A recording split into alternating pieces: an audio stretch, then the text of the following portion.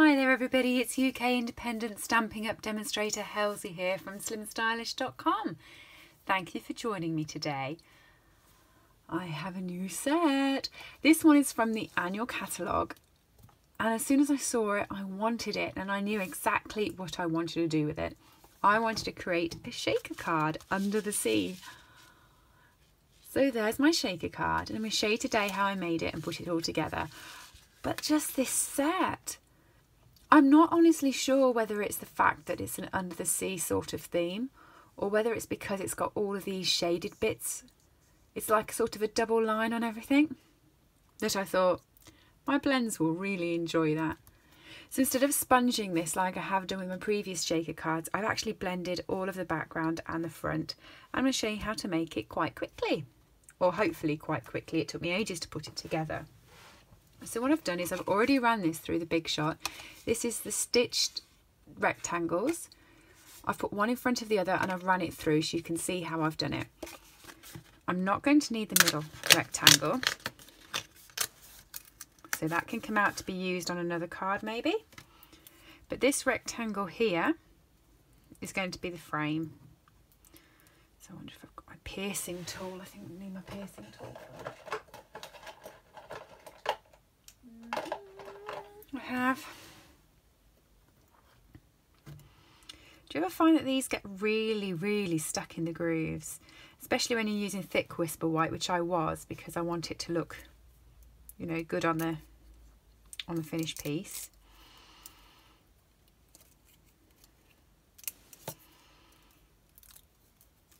So I just balance these together using the magnetic plate on my big shot, but you can do it whichever way you like. You could do the one and then do the other one. And what I'm going to do is I'm just going to pop that underneath my grid paper. For those watching, please remember I've put it under my grid paper because in about 15 minutes you're going to have a panic with me forgetting where I've put the frame. So now I'm just going to use this frame. This is the smallest of the two.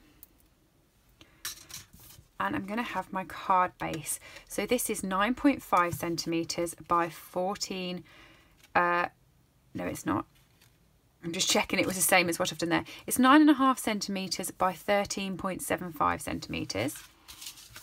And a pencil, which I didn't pick up to bring over. Oh, there we go. And I'm just going to draw around this so I know where my box is roughly going to go. I'm going to want them more at the top than at the bottom and it's only a rough line. So I've just got an idea. And my post-it notes are out. So with my post-it notes, I'm going to just grab this and put it quite straight on my grid paper so I know that I'm getting everything straight. And apologies if my head gets in the way here. But I want to get it right. I'm going to go for the top first. I'm going to try and mask along where I have just drawn without moving my paper. Easier said than done.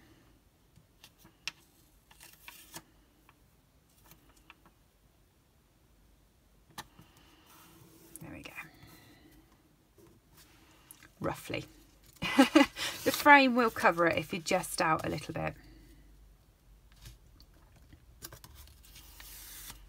Um, so that's about a millimetre or two off on that side. So I want about, about a millimetre or two off on that side. Okay. Like I said, if it's not perfectly straight, the frame will mask most of it. So this is just so I know where I'm colouring and where I'm not because I have actually only just coloured the background here and the outside is still white.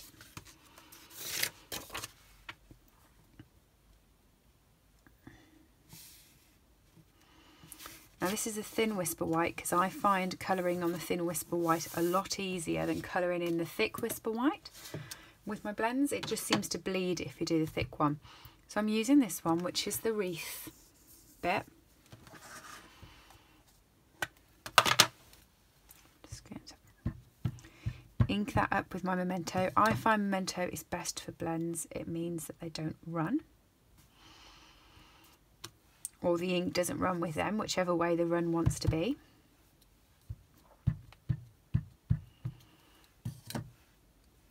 And there. I'm just going to build it up so it's a little bit higher on this side because that's where my creatures are not going to be. And then I'm just going to decorate the bottom a little bit.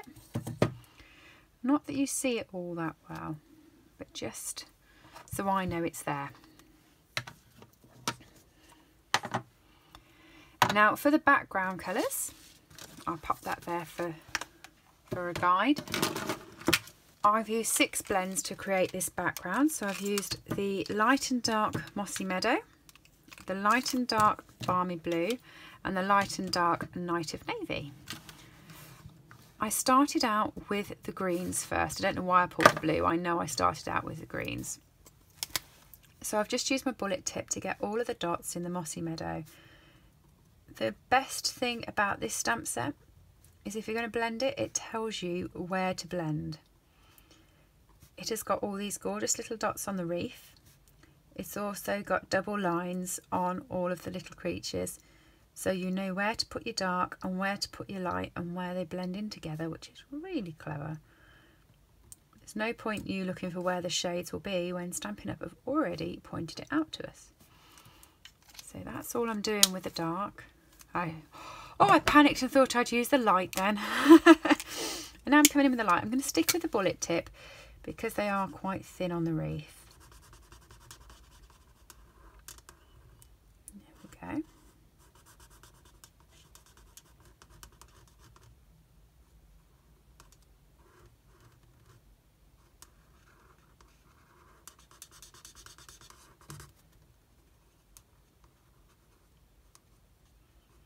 I'm not being too fussy with this because you'll see in a bit, but I do go over the green with the lighter blue because um, it's under the sea, you know.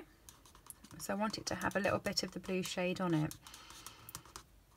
So if I'm not into the corners or anything, the blue will pick it out, but it's not a problem.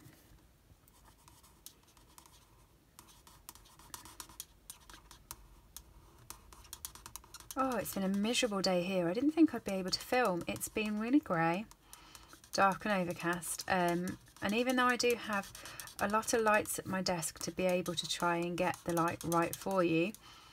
I rely on the light from the window as well. I prefer daylight light to crafting.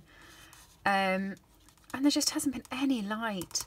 And I've pulled back the curtains as far as I can, but it's still not really very light in here. And uh, I kept looking out thinking it's not going to let me film, but I've got the whole day off work to put some videos together for you. And I thought, well, I'm just to have to go for it. So it's a bit miserable, but it's not raining. We've had a lot of rain here in the UK recently, a lot of rain. We were pretty flooded on the way home the other night. It was a scary drive home. So I'm starting off with Dark Night of Navy first. And I'm probably going to go to about midway. If you can see, I've blended it in quite well, but if you can see, I've actually got lines of where the darkness rises out. So you can see this is the dark, the light, and so on up. So I'm probably going to do the dark to about here.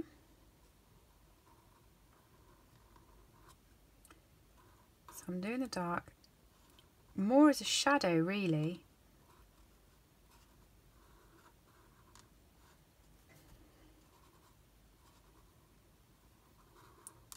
Now if your blends catch your oh post-it note, that's the word, it will run and it will then seep through because the post-it notes are quite thin.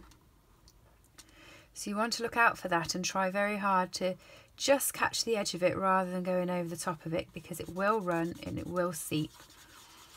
So I'm giving you a heads up. That will happen.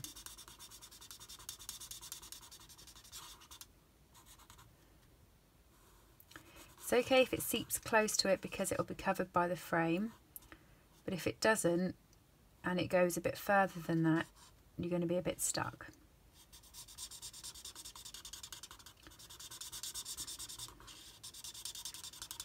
So I'm just blocking this in. I'm not going to be perfectly straight at the top. I'm just going to leave it a little bit more like it's been sketched in.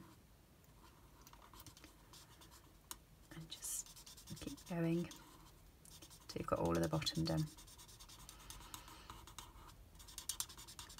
But yeah, I mean, it rained and rained and rained the one day. We had thunder and lightning and everything. And I was watching it out of the work window thinking I've got to drive home this way. And I can either go the motorway or I can go sort of a country lane way.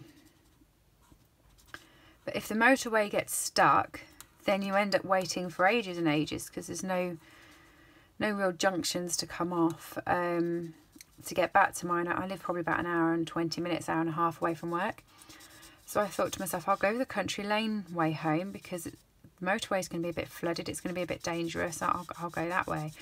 Not thinking that there is a ford on my way home. Oh, disaster. I drive a lowered mini convertible. Oh my gosh. Thought I was going to sink. What's worse is I know I can probably get through them, but I panic. So instead of just doing the steady speed, I try to rush through. Oh, it's very scary. I should have gone the motorway and just waited in the traffic. So I'm just using the lighter Night of Navy blend now and going around the rest of the wreath.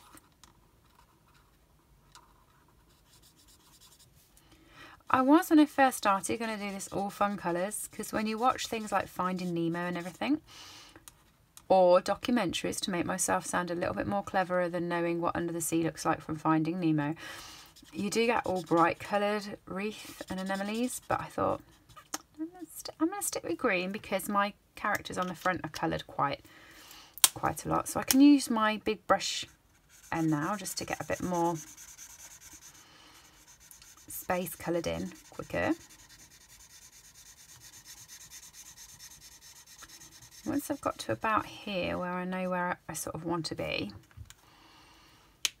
I'm going to use the water sprinkles. So that's this bit here.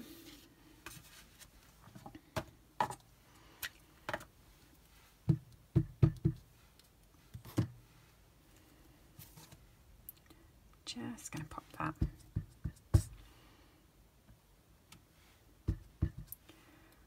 over the card. In a few spaces.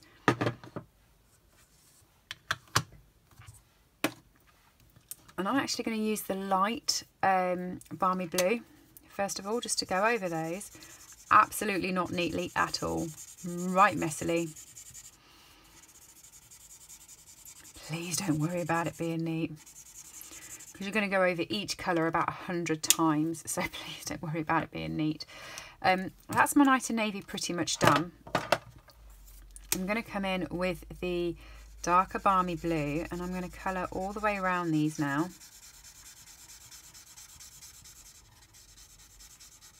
again I'm not doing it neat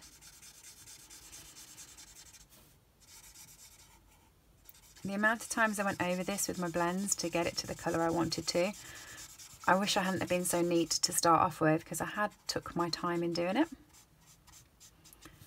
So that's roughly how it started looking at the start. And then I used my light balmy blue to go over the whole card, including the green bits, like I said earlier, over and over and over, just to try and merge and blend all these colours in together so you can't see the brush strokes as much. And then I'm just dragging the colour up. That's the best thing about blends. Is that you can totally change the colour you've done just by using a lighter colour over the top. You could also use the bleeding colour, the white one. However, because I'm I'm under the sea, I'm quite happy using this blue and getting everything done in a blue tint. Otherwise I would have used my blender, but I'm happy with this. So I'm just going to drag the colours into each other. Okay, once I've done that over the bottom part, I'm going to come back in with the darker balmy blue and I'm going to just come into the top part here, over the top, I don't particularly want to go over the green with this one because it is just a bit too dark for that. But I just want to go over the part of the Night of Navy and then I'm just going to carry it up. I'm going to go over the light one there, around the light one here. again, like I said, really not going neat here.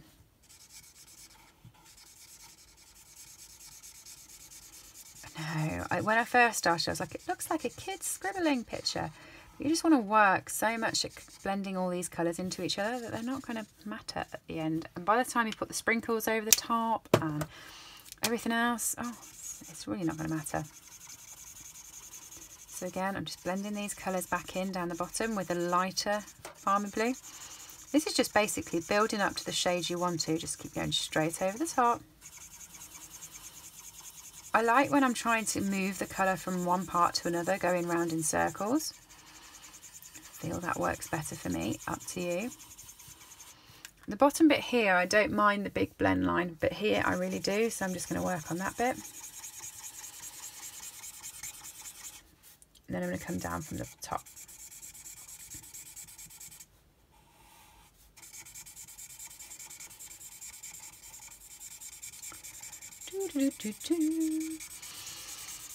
I do really enjoy blending. It makes me happy.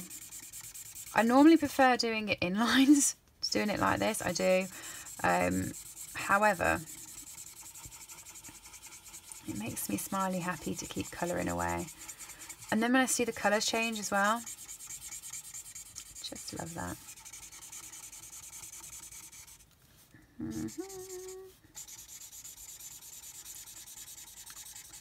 So someone put up about the blends. I put a message up on Facebook asking which colours were the first colours that people thought they should get. And people had mixed and said, oh, you know, if you get one, one of red and one yellow. And I think you should go in colour families because I think you can actually get really good results then from colouring in the colour family. That's my personal recommendation, I would say that I'm just going with the darker balmy blue. Um, I would say that by staying in your colour family, you can actually do sort of this sort of blending rather than just having a light and dark. You can get all the different shades going. I I prefer that. So if you've got a big flower, for instance, to colour, you can use all of the different pinks um, or all of the different greens on the leaves. So I'd stick with colour families rather than actual, you know, colours.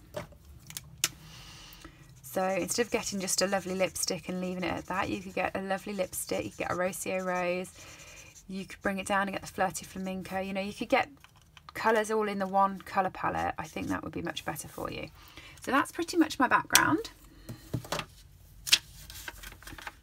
All done there. I am just going to get my... No, I'm not. I am because I found it again. I'm just going to get my light mossy meadow and I'm just going to run through the veins of this. Again, I'm really not being tidy. Um, and you'll notice that this side isn't blended as much as this side, but it's because I know that I'm going to be putting my seahorse over the top. So what's the point, you know? Unless he falls off, then it's going to look a bit messy, but we'll be all right. Yeah, so I, th I, think the greens are handy because you've always got leaves and parts for flowers. Um, I also think a colour like either a lilac or the purples, oh sorry, lilac or the purple, the lilacs or the pinks kind of work pretty well as well. So that's the background for my card.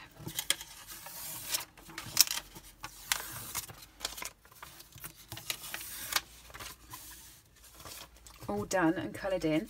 So now I'm just going to grab some scrap with the white and I'm going to grab my my little creature stamps and I'm going to stamp those all down using Memento again. And I'm going to blend those in as well.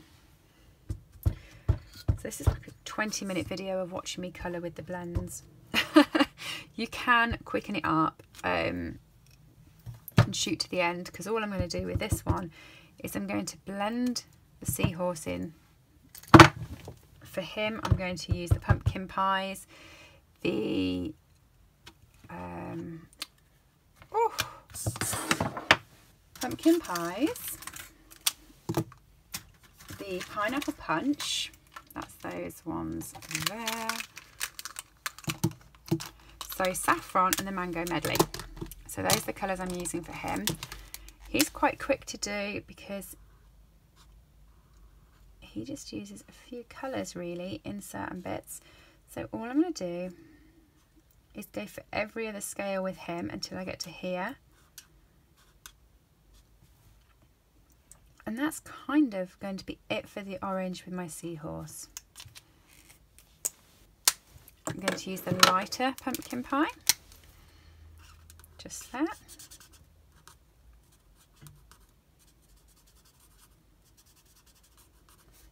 Again, like I said, Stampin' Up! have made it easy. They've given us double lines. So they know that we wanted to blend in and they know exactly where we should blend in for the shadows. Just a few more of the lighter ones down there. In with the Mango Medley with the darker one first. Just going to move that. I'm going to stick my arm on it else I'm going to have a shell on my arm.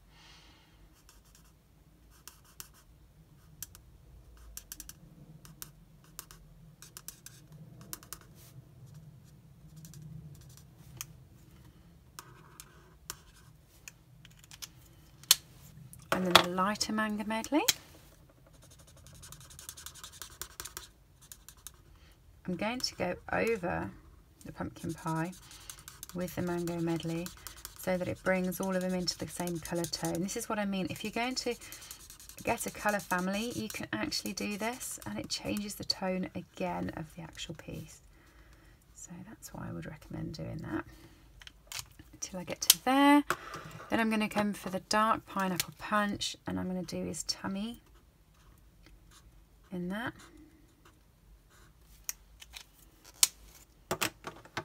The lighter pineapple punch. Now this one I'm going to go over lines with, so I'm just going to bring that in like that. And then finally, So Saffron. I'm going to do the double lines in the darker So Saffron.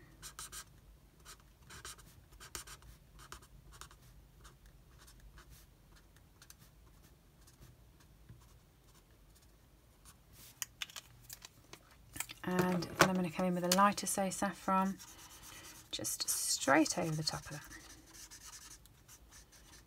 And that's him pretty much done.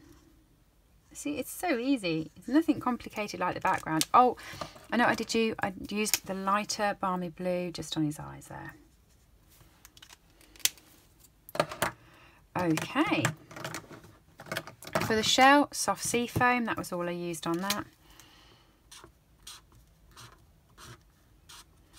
Where all the lines were, I did it in the dark sea foam. I went over the whole lot with the light soft sea foam.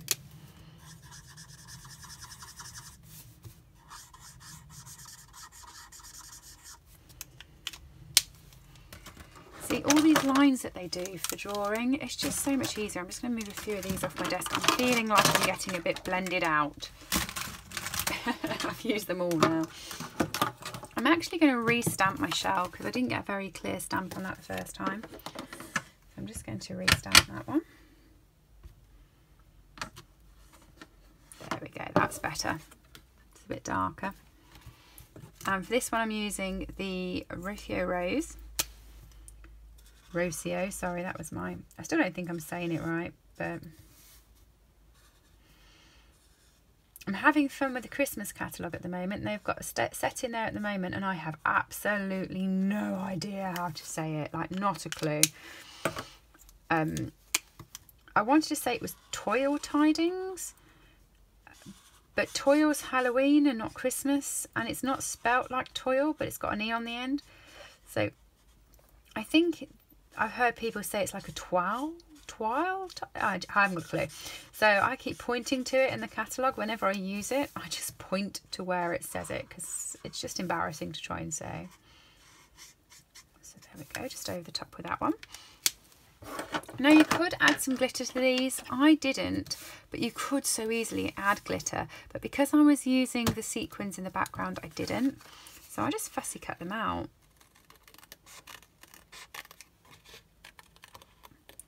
Like fussy cutting as well. I have to be in the mood for fussy cutting. Um, I think if I've got a craft day, I'm very happy to sit and fussy cut. I find it relaxing. Or if I'm watching TV of an evening and I'm just sitting in my chair, I'm, again, I'm really happy just to sit and fussy cut. But if I'm in a rush and I just, I just want to make cards and do my blog, then fussy cutting then I get really frustrated with. So I have to be in the mood. But um, I don't mind doing it.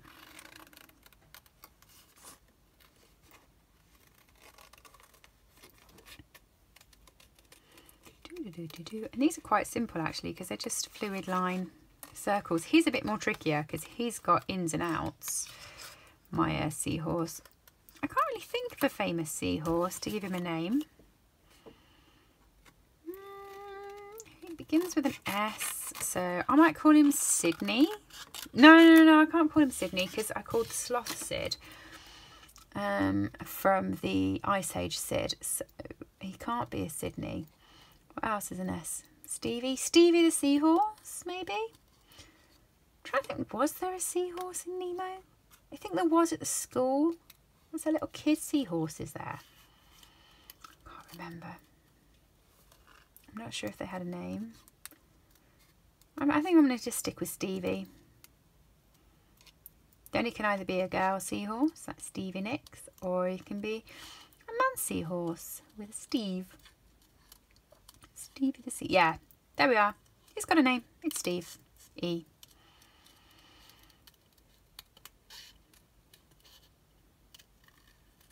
But yeah, he goes in and out. So.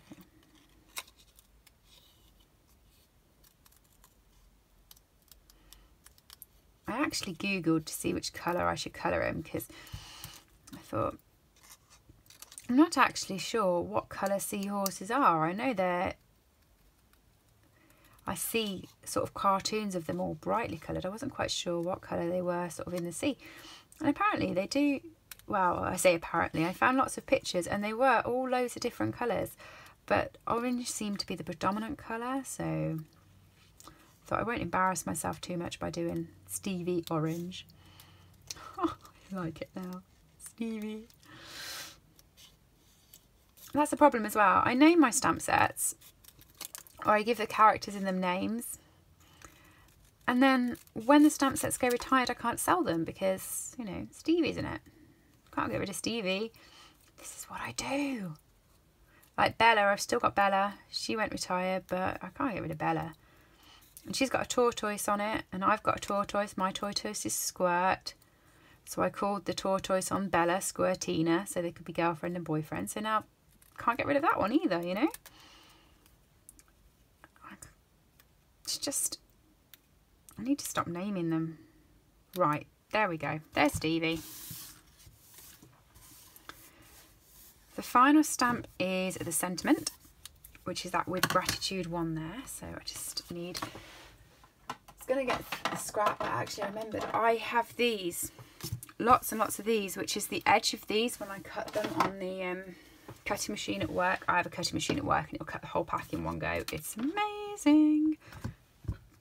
But it means I get loads left with loads of these strips. So I might as well use that with gratitude. Oh no, that wasn't straight. That's why there is two sides to paper, people. My head might be in this and I'm sorry, but I want to get it straight that time round. Much better. Yeah, that's straight. Or straighter. So for this, I'm just going to notch in, notch up and notch down. And again, notch in, notch up, notch down.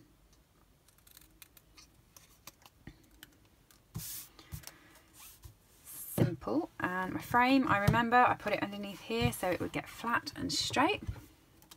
There it is. I'm just going to grab a window sheet because I forgot that I would need those.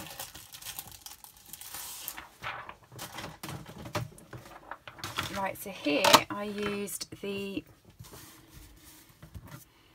tear and tape. However, tear and tape was too fat very sizest on the tear and tape there, but it was too fat. So it created a little bit of a pain, but it was still a better stick for me. I wanted it to definitely stick. Um, if you see, it's just about a millimetre or two too wide. So bear in mind if you're sticking it down not to push it too hard onto your background, otherwise you're going to have problems where your frame sticks to your grid paper.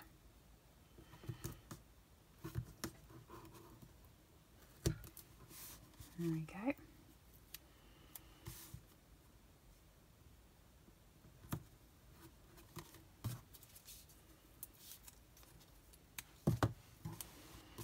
Just what you need on a day that you've done your nails. Tear and tape to stick them onto them. There we go. And that bit there.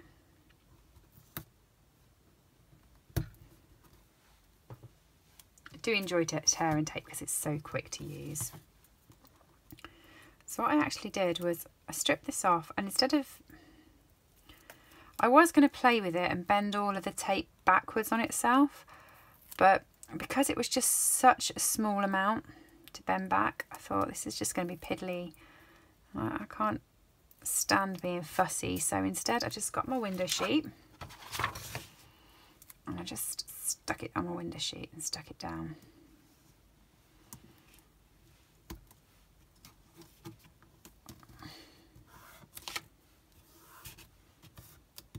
Like that. And then I just ran around it with my scissors and cut it really close to the frame.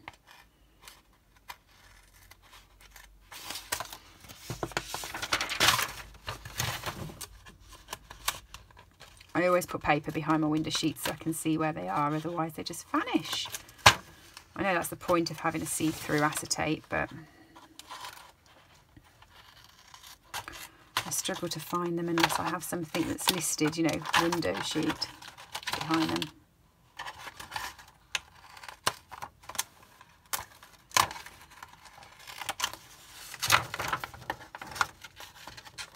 And just cut straight down there.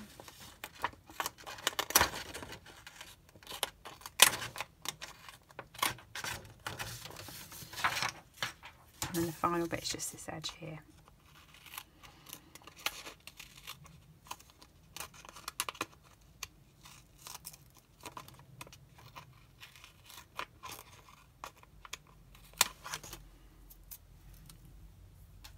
And just check your scissors because you'll have that tear and tape around it and you don't want it to be gunky but that means it's not sticky on the back now and it's stuck on fully so I was quite happy with that.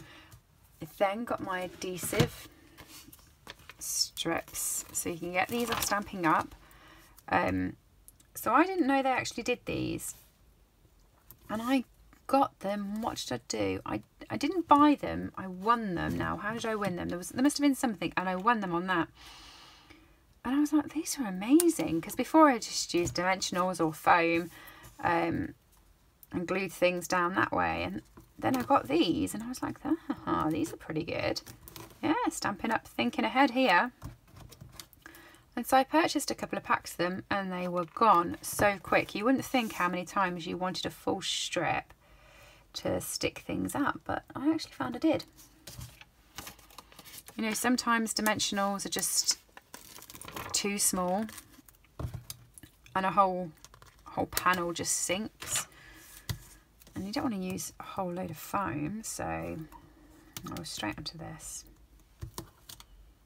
and it, it actually isn't that pricey. So and you get two two sheets of it. So this was one sheet and you get another one of these um, in the pack. I know Stampin' Up looking after us again. Oh. waste not want not Okay, so remove the back off it. It works the same as sticky strip with the back on.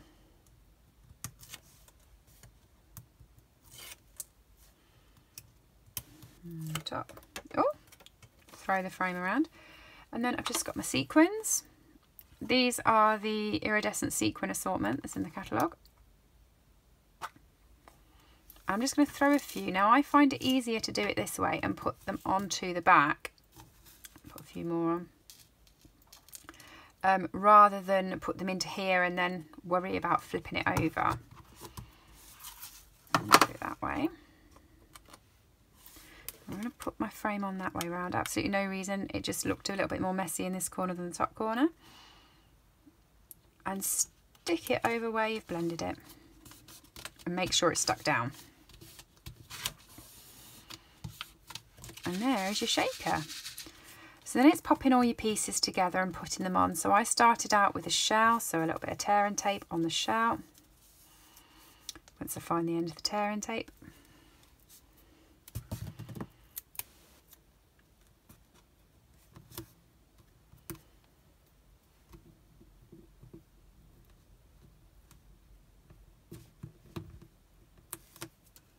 There we go.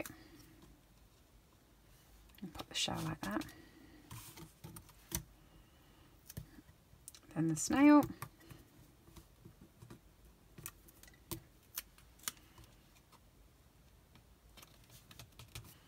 And then in came Stevie. Oh, Stevie. That's going to amuse me all afternoon. Every every video you watch now, I'm going to be playing with Stevie.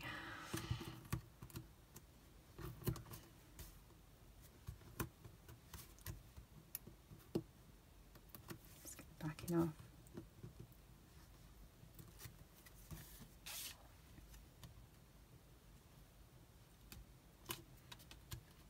And there's Stevie stuck.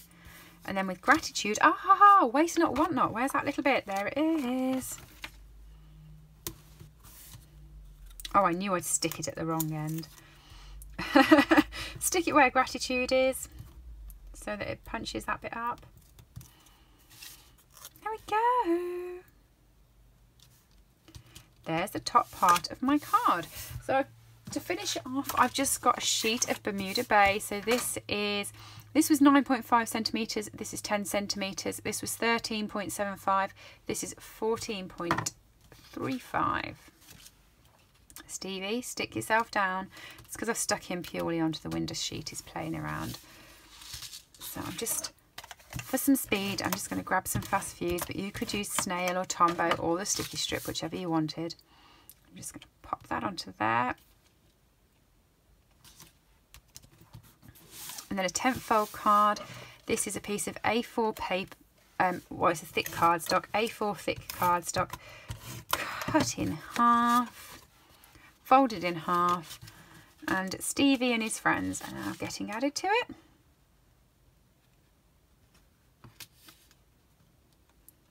And there we go. Shaker cards with gratitude under the sea.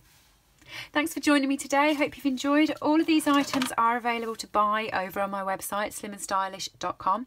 If you do like it, do click down below and subscribe to me, and I'll see you soon. Bye, guys.